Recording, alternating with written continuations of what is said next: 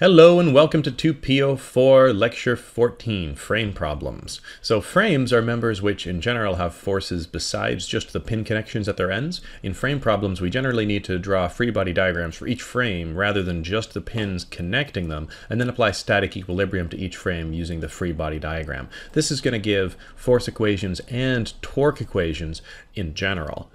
Now we're gonna uh, we're gonna go through this by looking at four different problems, all from Engineer 2 P04. This is really uh, where we get into a lot of the heavy static stuff in this course. You should be able to do a lot of these uh, just by uh, by giving them a shot before even looking at the answers. There's going to be a couple of hints with two force members and uh, and new concepts that you may not have been familiar with, but it's uh, it's stuff that you may be able to guess ahead of time. So I encourage you to give it a shot before looking at the answers as we go through them.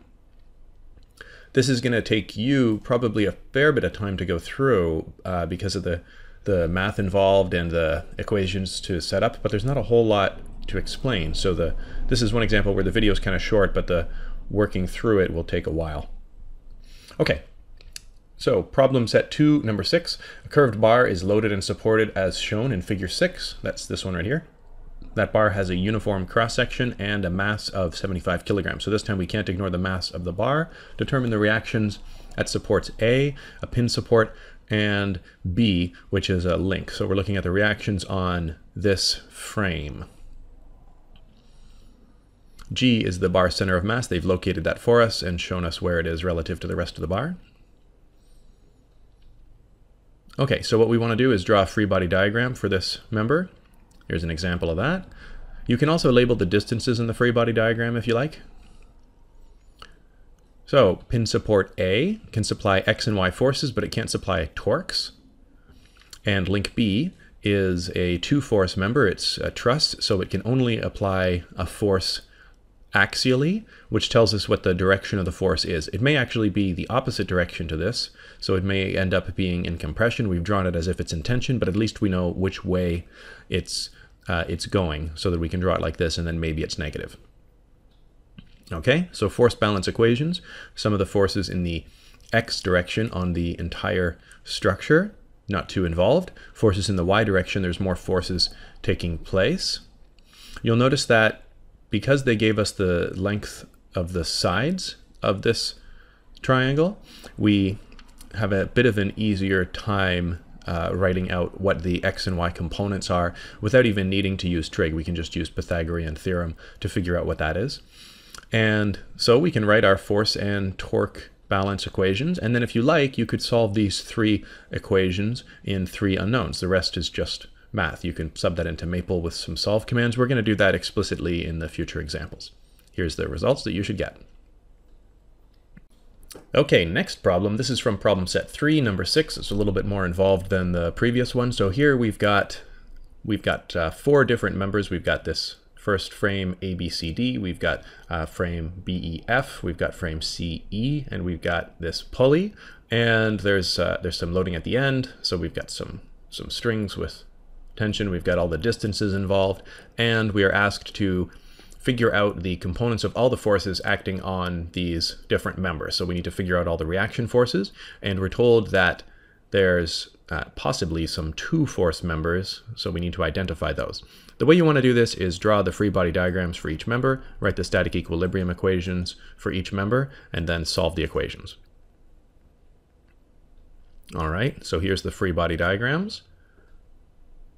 We've got uh, a lot of forces on member ABCD. We've got not quite as many on BEF, less on the pulley, and then the, the member with the least forces is member CE. This has only two reaction forces on it, which makes it a two-force member. And so, uh, so how this works is the forces on this pin have to be both have to be uh, balanced by the forces on this pin, which means they have to be equal and opposite, and also collinear, because if they're not collinear, so imagine the force CE points, imagine up, and the force uh, force on this pin, force on, force on pin C points up, force on pin E points down, then we'd have a couple, and so this member would rotate, and we don't want that. It's got to be in static equilibrium, which means the forces have to be equal and opposite and collinear. So that tells us the direction of the forces, and we can basically treat member CE like it's a truss connecting these.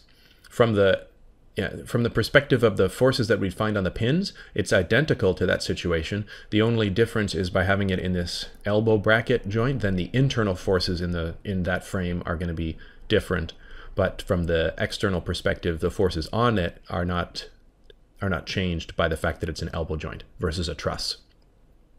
So we've got, if you add them up, we've got one, two, three, four, five, six, seven, eight, nine different forces and uh, different force unknowns, and we also have an angle unknown, and we can figure out the angle unknown from the trig here, and we can figure out the force unknowns by applying the force in the x, y, and the torque equation for member ABCD, BEF, and the pulley. That's your next job. So here's what you should get. On the pulley, member BEF, and ABCD. You can solve these with Maple, eh, just like we did in lecture 13. Now I'll point out that if we uh, if, if you don't give the solve command an equation, so in, in this example, you just gave it t minus 3.924, it assumes you mean 0 equals, so that you can save a little bit of time in, uh, in subbing all of these into Maple by not having to write all of that. All right, and there's our answer. Next practice problem, this is number seven from the problem set number three, again in Engineer 2 P04.